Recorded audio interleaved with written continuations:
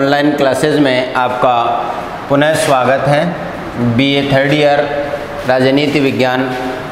आज हम नया बिंदु यहाँ पर ले रहे हैं, शीत युद्ध कोल्ड वार शीत युद्ध कोल्ड वार जैसा कि हमारे इस प्रश्न पत्र में अंतर्राष्ट्रीय संबंधों की व्याख्या का जो मुद्दा है, उसको शामिल करेंगे और पूरा जो आपका जो जो सलेबस है, वो विश्व राजनीति के दृष्टिकोण से या विश्व राजनीति की व्यवस्थाओं को शामिल करते हुए ही इसमें ज़िक्र किया जाएगा। तो यहाँ पर एक मुख्य बिंदु के रूप में शीत युद्ध का ज़िक्र आता है। कोल्ड वार शीत युद्ध क्या है? इसकी ऐतिहासिक पृष्ठभूमि क्या है? इसके, इसको परिभाषित कैसे किया गया? इसका अर्थ क्या है? इन सब बातों को हम यहाँ समझने का प्रयास करेंगे। सबसे पहले तो हम इसके ऐतिहासिक पृष्ठभूमि पर चर्चा करेंगे। शीत युद्ध दूसरे महायुद्ध के बाद, जैसा कि आप जानते हैं कि दूसरे महायुद्ध के बाद वैश्विक राजनीति के दो ध्रुव स्थापित हो गए। और विश्व राजनीति में संयुक्त राज्य अमेरिका और सोवियत संघ दो महाशक्तियाँ बन करके उभरी और यूरोप सेंटर्ड जो इंटरनेशनल पॉलिटिक्स था, अब वह अपना प्रभाव खो चुका है, अपना प्रभुत्व खो चुका है। अब इन दो महाशक्तियों के बीच, दो विचारधाराओं के बीच एक पूंजीवादी विचारधारा है, दूसरी साम्यवादी विचारधारा है। दोनों विचारधाराओं और दोनों महाशक्तियों के बीच यद्यपि बुनियादी मतभेद थे, अमेरिका जो पूंजीवादी व्यवस्था का हिमायती था, वह उदार लोकतांत्रिक व्यवस्था का हिमायती रहा। और सोवियत संघ जो मुख्य रूप से साम्यवादी विचारधारा का समर्थक था, वो सर्वाधिकारवादी, साम्यवादी राज व्यवस्था का समर्थक रहा। तो ये बुनियादी मतभेद दोनों विचारधाराओं में थे। लेकिन जैसा कि हमने देखा कि युद्ध काल में दोनों पास में आए और दोनों में मित्रतापूर्ण संबंध देखे गए। और अब एक बड़ी विडंबना ये थी कि ये मित्रतापूर्ण संबंध बहुत ज़्यादा समय तक नहीं चले और कुछ समय के बाद जो है, या यूँ कहें कि युद्ध काल में ही इन युद्ध काल में ही इन संबंधों पर युद्ध काल में ही ये संबंध जो हैं, वो बिखरे हुए, टूटे हुए दिखाई देने लगे थे। और मुख्य रूप से युद्ध के समापन के बाद दोनों महाशक्तियाँ एक दूसरे के विरोध में खड़ी थी, संघर्षपूर्ण और तनावपूर्ण स्थिति में खड़ी थी। यद्यपि महायुद्ध समाप्त हो चुका था और ऐसा होने के बीच कई सारे कारण थे जिसमें हमने ज़िक्र भी किया था कि अमेरिका द्वारा परमाणु बम का प्रयोग बहुत बड़ा परिवर्तन लेकर के आया। विश्व में अणुयुग का सूत्रपात तो हुआ ही, लेकिन उसने मित्रकाल, युद्धकालीन मित्र राष्ट्रों की मित्रता को भी ध्वस्त कर दिया था। ये बहुत बड़ा और युद्ध का तात्कालिक कारण जो है वहाँ पर था। तो ऐसे ऐसे जो कारण थे, इन कारण से दोनों महाशक्तियाँ युद्ध के समाप्ति के बाद अपने बुनियादी मतभेदों की तरफ़ पुनः लौटने लगी और 1950 का समय आते आते तक दोनों महाशक्तियाँ एक दूसरे के विरुद्ध संघर्ष की स्थिति में खड़ी दिखाई देने लगी। दोनों महाशक्तियों में राजनीतिक प्रचार का एक तुमुल संग्राम छिड़ गया, एक व्यवस्था वैचारिक रूप से इनमें प्रारंभ हो गई और ये जो व्यवस्था थी, दोनों एक दूसरे का विरोध, आलोचना और अपना सर्वत्र प्रचार और प्रसार करने में लग गए। सोवियत संघ और अमेरिका कटुतापूर्ण संबंधों को इन इन दोनों के कटुतापूर्ण संबंधों ने विश्व को दो राजनीतिक भागों में, दो गुटों में, दो समूहों में विभाजित कर दिया। और अंतर्राष्ट्रीय मंच पर ये दोनों गुट, कूटनीतिक, सामाजिक, सांस्कृतिक, राजनीतिक और अगर हो सके तो सैनिक मोर्चों पर भी एक दूसरे को पराजित करने में संलग्न हो गए और दोनों गुटों में भय और तनाव का माहौल सर्वत्र व्याप्त हो गया और अविश्वास का माहौल यहाँ पर बन गया, जिससे विश्व में एक बार पुनः संघर्ष की स्थिति उत्पन्न हो गई और एक नए युग का आविर्भाव हुआ, जिसे कुछ विद्वान लेखकों ने सशस्त्र शांति का युग कहना उचित समझा है। सशस्त्र शांति का युग। अर्थात ऐसी स्थिति है जिसमें डिप्लोमेटिक रूप से तो शांति दिखाई दे रही है, वास्तव में युद्धमान स्थितियाँ नहीं है, लेकिन वास्तव में शस्त्रों ने इतना व्यवस्था फैला दी है जिस कारण से वो अशांत हो गए हैं या शस्त्रों की होड़ में राष्ट्र लग गए हैं, ऐसे जैसे कि युद्धमान स्थितियों में लगते हों। इस प्रकार शीत युद्ध जो है, महायुद्ध के उपरांत अंतर्राष्ट्रीय राजनीति का एक महत्वपूर्ण विकास है, महत्वपूर्ण परिवर्तन है, जिसकी दो प्रकार से व्याख्या हम कर सकते हैं। शीत युद्ध एक वैचारिक संघर्ष है। एक, दो व्याख्याएँ इसकी की जा सकती हैं। शीत युद्ध एक वैचारिक संघर्ष है, विचारों का संघर्ष। शीत युद्ध एक वैचारिक संघर्ष है। वैचारिक संघर्ष कैसे? जैसा कि हम लगातार कह रहे हैं कि महायुद्ध के बाद, हालाँकि ऐसा नहीं है कि महायुद्ध में ही ऐसा हुआ हो, इसके जो पृष्ठभूमि तो और पीछे दिखाई देती हैं। 1917 की बोलसेविक क्रांति जिसको आप इतिहास में भी पढ़ते हैं 1917 की बोलसेविक क्रांति से विश्व में साम्यवादी विचारधारा का प्रथम बीजारोपण माना जाता है और यह समय पाकर के पल्लवित और पुष्पित होती होती महायुद्ध के आसपास और उसके बाद में एक स्पष्ट राजनीतिक विचारधारा के रूप में विश्व मंच पर स्थापित हो जाती है और विश्व के बहुत बड़े हिस्से पर साम्यवादी विचारधारा का शासन भी स्थापित हो जाता है। अब इसके दूसरे ध्रुव के रूप में महायुद्ध के बाद पूंजीवादी, उदारवादी लोकतांत्रिक व्यवस्थाएँ प्रारंभ होती हैं, जिसका मुखिया अमेरिका बनता है। तो इन दोनों महाशक्तियों के बीच एक वैचारिक संघर्ष है तो इसमें दो विरोधी जीवन पद्धतियाँ भी हैं। विरोधी जीवन पद्धतियाँ लाइफ स्टाइल दो विरोधी लाइफ स्टाइल भी यहाँ पर हैं।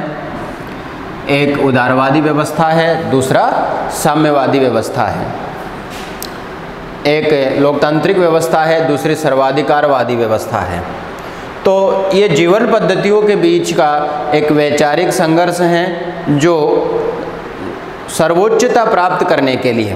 पूंजीवादी सर्वाधिकारवादी साम्यवादियों पर सर्वोच्चता प्राप्त करना चाहते हैं और सर्वाधिकारवादी साम्यवादी हैं वो पूंजीवादियों पर सर्वोच्चता प्राप्त करना चाहते हैं। और ये इसीलिए संघर्षमान स्थिति है। दूसरी तरफ़, दूसरी जो विचारधारा इसकी है, उसमें शक्ति संतुलन की राजनीति का संघर्ष इसको कहा गया है। शक्ति संतुलन। शक्ति संतुलन। वैश्विक राजनीति में शक्ति संतुलन की जो राजनीति है, या ये यथार्थवादी विचारधारा है, इसके मुख्य प्रणेता हेंस जे मार्गेंथाउ हैं। यथार्थवादी राजनीति या यथार्थवाद पर आधारित है, और ये शक्ति संतुलन की नवीन विचारधारा है, नवीन प्रणाली है। पुरानी वैश्विक शक्ति संतुलन की नवीन विचारधारा या नवीन प्रणाली है। जिसमें अंतर्राष्ट्रीय परिवेश में उदित दो महाशक्तियाँ, संयुक्त राज्य अमेरिका और सोवियत संघ जो हैं विश्व के अधिकांश राज्यों को अपने प्रभाव क्षेत्र में लाना चाहते हैं। विश्व के अधिकांश राज्यों को अपने प्रभाव क्षेत्र में लाना चाहते हैं। ये जो विचारधाराओं का संघर्ष चाहे हम इसे माने इसमें पूंजीवादी और साम्यवादी विचारधारा का संघर्ष है। पूंजीवादी उदारवाद को आ, का झंडा उठाए हुए हैं। साम्यवादी जो है सर्वाधिकारवाद का झंडा उठाए हुए हैं। तो ये विचारधाराओं का संघर्ष जीवन पद्धतियों का संघर्ष आदर्शों का संघर्ष या आस्तिकों और नास्तिकों का संघर्ष भी इसको कहा गया है। दूसरा जो इसमें दर्शन है, वो शक्ति संतुलन का है। पुरानी वैश्विक राजनीति, अंतर्राष्ट्रीय राजनीति के शक्ति संतुलन की अवधारणा का नवीन पक्ष इसको कहा गया है और ये पूरे विश्व को अपने प्रभाव क्षेत्र में लाना चाहते हैं, सर्वोच्चता प्राप्त करना चाहते हैं, इसलिए सर्वत्र अपना प्रचार प्रसार भी इन्होंने प्रारंभ कर दिया है। अब अपने प्रभाव क्षेत्र में लाने के लिए, जैसा कि हम पढ़ चुके हैं पूर्व में कि सैनिक गुट इन्होंने बनाए 1950 के बाद में एक दूसरे का प्रचार, प्रसार रोकने के लिए, सैनिक संधियाँ भी इन्होंने की, या जैसे यूरोप में जो साम्यवाद का परिरोधन करने के लिए अमेरिका ने कई सारे प्रोग्राम्स चलाए, आर्थिक पैकेज भी उनको दिए तो एक दूसरे को डिटेन करने की स्थितियाँ भी यहाँ पर दिखाई दे रही हैं। तो ये जो संपूर्ण जो व्यवस्था है, वो मिले जुले रूप से इसको परिभाषित करने का प्रयास करती है, इसको अर्थ को समझने का प्रयास करती है। ये जो सशस्त्र शांति का युग जो कहा गया, इसमें वैचारिक संघर्ष है जीवन पद्धतियों का संघर्ष है, शक्ति संतुलन की यथार्थवादी जो विचारधारा है, वो भी दिखाई देती है। अब प्रमुख प्रश्न ये है कि इसका अर्थ क्या लिया जाए या इसको परिभाषित कैसे किया जाए? तो शीत युद्ध, थोड़ा सा इसको हम समझने का प्रयास यहाँ पर करेंगे। और एक शत्रुतापूर्ण जो संबंध हैं वो बिना वास्तविक युद्ध में तब्दील हुए चल रहे हैं। यही इसका सार संक्षेपण है। शीत युद्ध शब्द से सोवियत संघ और अमेरिका के तनावपूर्ण संघर्ष की अंतर के, अंतर्राष्ट्रीय संबंधों की अभिव्यक्ति है, जो विश्व युद्धोत्तर राजनीति की वास्तविकता है। विश्व युद्धोत्तर राजनीति की वास्तविकता है और इस विश्व युद्धोत्तर राजनीति में शत्रुतापूर्ण संबंधों को गर्म युद्ध में परिवर्तित किए बिना शीत युद्ध में वैचारिक घृणा। जैसा कि हम कह रहे हैं कि एनेमिक रिलेशन है विदाउट हॉट वार ऐसे शत्रुतापूर्ण संबंध जो कभी भी वास्तविक युद्ध में या हॉट वार में परिवर्तित नहीं होते हैं। वास्तविक युद्ध या हॉट वार में परिवर्तित नहीं होते हैं। ये जो शत्रुतापूर्ण संबंध है, वही शीत युद्ध की वास्तविक अभिव्यक्ति है। या यूँ कहें कि दोनों महाशक्तियों के संबंधों के, अंतर्राष्ट्रीय संबंधों की वास्तविक अभिव्यक्ति इसी रूप में की जा सकती है कि बिना शत्रु सॉरी शत्रुतापूर्ण संबंधों को, ऐसे संबंध, ऐसे शत्रुतापूर्ण संबंध जो बिना वास्तविक युद्ध में तब्दील हुए, एक दूसरे पक्ष के प्रति एक वैचारिक घृणा रखते हैं आइडियोलॉजिकल हेटर्ड रखते हैं, वैचारिक घृणा रखते रखते हैं। एक दूसरे पक्ष के विरोध में वैचारिक घृणा, विचारधाराओं की घृणा, पूंजीवादियों की आलोचनाएँ साम्यवादियों द्वारा की जाती है, साम्यवादियों की आलोचनाएँ पूंजीवादियों द्वारा की जाती है और एक दूसरे पर आरोप, प्रत्यारोप लगाए जाते हैं। वैचारिक घृणा या वैचारिक संघर्ष यहाँ पर दिखाई देता है। ये इन संबंधों की अभिव्यक्ति के रूप में एक शब्द। दूसरा, यहाँ पर राजनीतिक अविश्वास पॉलिटिकल डिस्ट्रस्ट राजनीतिक अविश्वास भी दिखाई देता है। एक दूसरे का विश्वास जो है, एक दूसरे विचार द्वारा नहीं किया जा रहा है। राजनीतिक अविश्वास राजनीतिक अविश्वास भी एक ऐसा शब्द है जो इसको थोड़ा समझने में हमारी मदद करता है। इसके अलावा कूटनीतिक जोड़ तोड़ कूटनीतिक जोड़ तोड़ भी यहाँ पर महत्वपूर्ण है। दूसरा, मिलिट्री कंपटीशन। एक दूसरे में सैनिक जो प्रतियोगिताएँ हैं, चल रही है, हथियारों की होड़ है या बहुत बड़ा बजट जो अपने रक्षा पर खर्च किया जा रहा है, सैन्य साधु सामान जमा किए जा रहे हैं, आणविक आयुद्धों को जमा किया जा रहा है सैनिक सामान खरीदे जा रहे हैं मिलिट्री ऑपरेशंस तैयार रहने के लिए उनको ट्रेनिंग वगैरह दी जाती है। ये सारे कंपटीशन दोनों खेमों में चल रहे हैं। तो मिलिट्री जो इनका कंपटीशन है, वो चालू है। जासूसी भी एक दूसरे के एक द्वारा करवाई जा रही है। इसके एक तरीके का साइकोलॉजिकल वारफेयर है।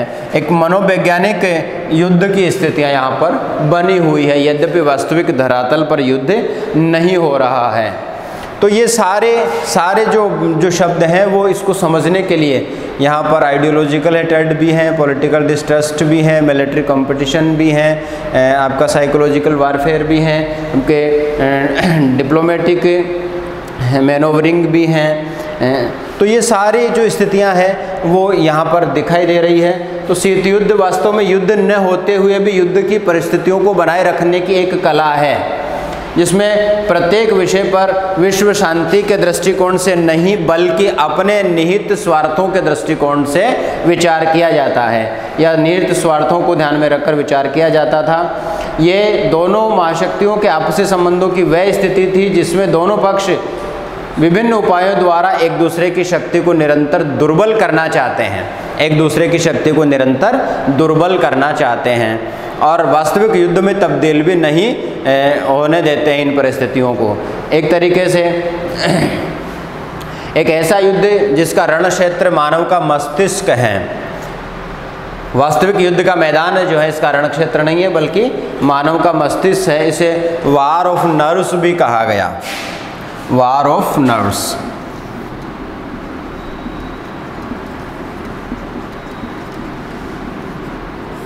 मस्तिष्क युद्ध है।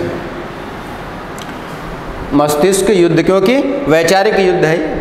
विचारधाराओं का युद्ध है, वैचारिक युद्ध है। इसमें रणक्षेत्र का सक्रिय युद्ध शामिल नहीं है, परंतु विपक्षी राज्यों के सभी राजनीतिक, आर्थिक और सामाजिक संबंध सामाजिक संबंध में शत्रुता भरे तनाव की स्थितियाँ हैं। शीत युद्ध वस्तुतः युद्ध के नरसंहारक दुष्परिणामों से बचते हुए युद्ध द्वारा प्राप्त होने वाले समस्त उद्देश्यों को प्राप्त करने की एक कला दिखाई देती हैं। एक नूतन शस्त्र, नूतन व्यवस्था दिखाई देती हैं। शीत युद्ध एक प्रकार का वाक युद्ध है, जो कागज़ के गोलों से लड़ा गया। ये वास्तव में बमों से नहीं लड़ा गया। पत्र पत्रिकाएँ रेडियो तथा प्रचार के साधनों से लड़ा गया। विदेशी गुटों की जनताओं को प्रभावित करके उनके मनोबल को क्षीण करने का उपाय इसमें किया गया। और अपनी श्रेष्ठता, शक्ति और न्यायप्रियता का तार्किक दावा इसमें दुष्प्रचार के ज़रिए किया गया। साम्यवादी, पूंजीवादियों के विरोध आरोपित लगाते हैं, आरोप लगाते हैं और पूंजीवादी साम्यवादियों को जो है सबके सामने जो है लाने का प्रयास करते हैं, उनके विचारों को सबके सामने खोलने का प्रयास करते हैं। एक प्रकार से प्रचारात्मक युद्ध है, जिसमें एक महाशक्ति दूसरे के खिलाफ घृणा और प्रचार घृणा से भरे माहौल का, नफरत भरे माहौल का प्रचार प्रसार करना चाहती हैं। और इस प्रकार से शीत युद्ध जो है एक कूटनीतिक युद्ध है, जिसमें जिसमें शत्रु को अकेला करने जिसमें शत्रु को अकेला करने और मित्रों की खोज करने में चतुराई का प्रयोग भी किया जा रहा है। शत्रु को अकेला करने और मित्रों की खोज करने में चतुराई का प्रयोग भी किया जा रहा है। तो ये बहुत सारे शब्द जो हैं शीत युद्ध को समझने के लिए कहे गए हैं। शीत युद्ध को इन सारे शब्दों से समझने का प्रयास करना चाहिए, क्योंकि एक केवल एक शब्द द्वारा हम इसकी संपूर्ण व्याख्या या इसके अर्थ को ग्रहण नहीं कर सकते हैं। इसके अर्थ को ग्रहित करने के लिए हमें इन सभी शब्दों का इस्तेमाल करना होगा, सभी शब्दों को समझना होगा। इसके बाद में हम इसके कुछ परिभाषाओं की बात करते हैं। परिभाषाएँ बहुत सारे विद्वानों ने अलग अलग तरीके से इसको परिभाषित करने का प्रयास किया है, जिसमें एक प्रमुख विचारक हैं पंडित जवाहरलाल नेहरू। इन्होंने जो परिभाषा दी है, संक्षिप्त परिभाषा है, और वो है कि पुरातन शक्ति संतुलन की जो धारणा है, उसका नया रूप है। पुरातन शक्ति संतुलन की जो धारणा है, उसका नया रूप है। और ये विचारधाराओं का संघर्ष न होकर के महाशक्तियों का संघर्ष है। जैसा कि हम इसके अर्थ में बात कर रहे थे, ज़िक्र कर रहे थे कि ये वैचारिक संघर्ष हैं और दो विचारधाराओं का, दो जीवन पद्धतियों का संघर्ष है। वास्तव में नेहरू ये कह रहे हैं कि ये विचारधाराओं का या जीवन पद्धतियों का संघर्ष नहीं है, बल्कि दो महाशक्तियों का संघर्ष है, दो महाशक्तियों का युद्ध है। और इसमें पुरातन शक्ति संतुलन की अवधारणा जो है सबसे मुख्य हैं। ये दो भीमाकार शक्तियों का आपसी संघर्ष है। वैचारिक आधार पर केवल मात्र विचारधाराओं का संघर्ष नहीं है। एक और परिभाषा डॉक्टर एम एस राजन की है और वो ये कह रहे हैं कि शक्ति संघर्ष की राजनीति का मिला जुला परिणाम है। ये संक्षेप में लिखा हमने यहाँ पर कि शक्ति संघर्ष की राजनीति का मिला जुला परिणाम है, क्योंकि वैश्विक राजनीति में जो है शक्ति संतुलन एक बहुत बड़ी अवधारणा होती है और बहुत बड़ी आवश्यकता होती है, जो जियो के माध्यम से भी इसको देखा जा सकता है, समझा जा सकता है। हमेशा जो है शक्ति संतुलन की जो स्थितियाँ प्राप्त करने के लिए संघर्ष उत्पन्न होता है और वो संघर्ष, जो शक्ति संघर्ष की राजनीति है, उसका मिला जुला परिणाम है, क्योंकि साम्यवादी अपना प्रभाव क्षेत्र बढ़ाना चाहते हैं, अपना विचारिक क्षेत्र बढ़ाना चाहते हैं, अपनी सैनिक शक्ति और अपना भौगोलिक क्षेत्र बढ़ाना चाहते हैं, उसी प्रकार पूंजीवादी भी जो हैं, अपना प्रभाव क्षेत्र बढ़ाना चाहते हैं, वैचारिक प्रभाव बढ़ाना चाहते हैं, अपना भौगोलिक क्षेत्र बढ़ाना चाहते हैं, अपनी सैनिक शक्ति बढ़ाना चाहते हैं, पूरे विश्व में अपना अधिकार चाहते हैं। तो दोनों वैचारिक स्थितियाँ और दोनों महाशक्तियों के बीच शक्ति राजनीति है, दोनों के बीच में शक्ति संतुलन प्राप्त करने के लिए एक शक्ति संघ संघर्ष यहाँ पर दिखाई देता है। इसमें दो विरोधी विचारधाराएँ संघर्षरत हैं। दो प्रकार की परस्पर विरोधी पद्धतियों का परिणाम है। दो चिंतन विरोधी प्रकार की चिंतन प्रणालियाँ हैं। और अंतर्राष्ट्रीय, संघर्षपूर्ण राष्ट्रीय हितों के अभिव्यक्ति के लिए समय और परिस्थितियों के साथ आप अनुपात में एक दूसरे के पूरक हों, पूरक हैं और एक दूसरे के अनुपात में बदलते रहते हैं। तो शक्ति संघर्ष की राजनीति का मिला जुला परिणाम ऐसा डॉक्टर एम एस राजन यहाँ पर कह रहे हैं। तो शक्ति संघर्ष की राजनीति यहाँ पर शीत युद्ध के माध्यम से दिखाई देती है। एक और विद्वान है डलेस महोदय। फॉस्टर डलेस महोदय कहते हैं कि शीत युद्ध नैतिक दृष्टि से धर्म युद्ध है।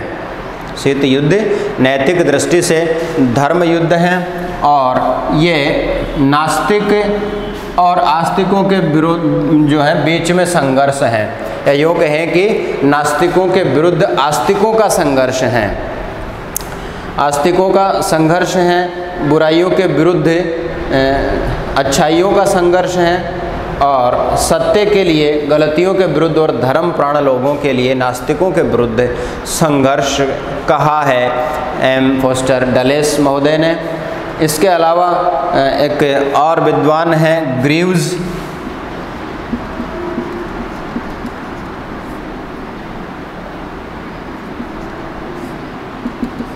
ग्रीव्स महोदय ने भी इसको परिभाषित करने का प्रयास किया है। और उनके शब्दों में, परमाणु युग में शीत युद्ध एक ऐसी तनावपूर्ण स्थिति है, परमाणु युग में, यहाँ पर इन्होंने और एक अलग एंगल से इसको परिभाषित करने का प्रयास किया है।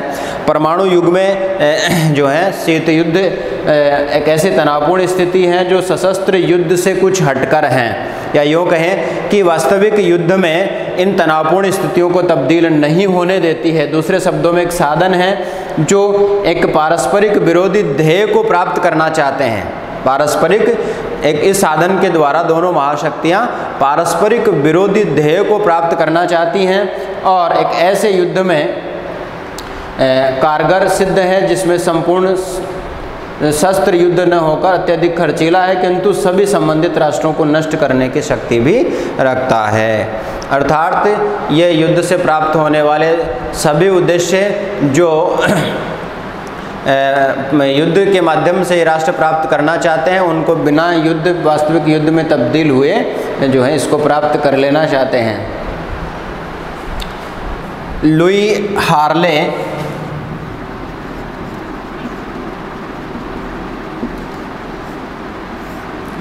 लुई हार्ले इन्होंने शीत युद्ध के बारे में अपनी पुस्तक the cold war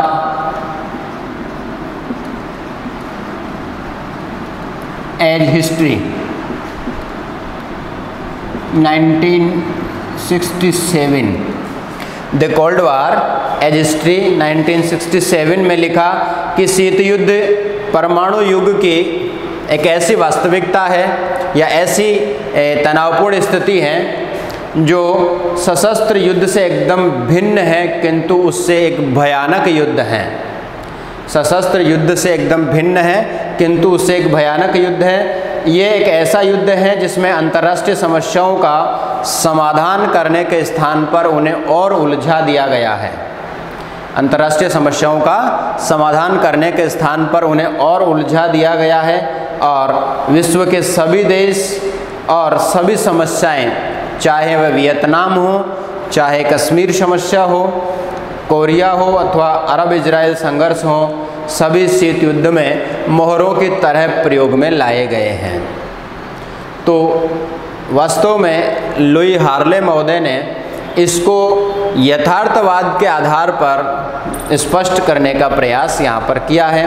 ये कह रहे हैं कि वस्तुतः शीत युद्ध वास्तविक युद्ध नहीं था, अपितु युद्ध का वातावरण था और नेहरू के शब्दों में शीत युद्ध का वातावरण निलंबित मृत्युदंड के समान था। निलंबित मृत्युदंड, कौन कह रहे हैं? पंडित नेहरू इसके बारे में कह रहे हैं। कि निलंबित मृत्युदंड some kind of suspended death sentence निलंबित मृत्युदंड।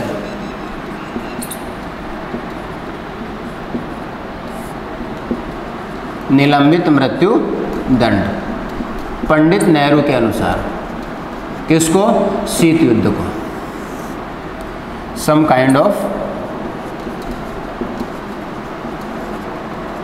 suspended death sentence